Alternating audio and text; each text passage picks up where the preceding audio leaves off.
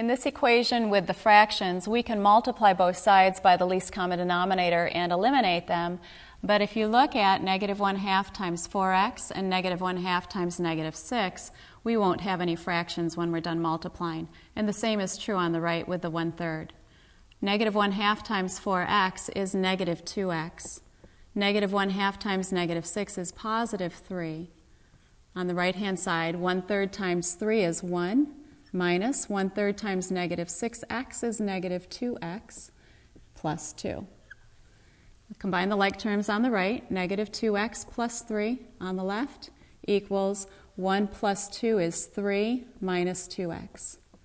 If we add 2x from the right to the left, negative 2x plus 2x plus 3 equals 3 minus 2x plus 2x.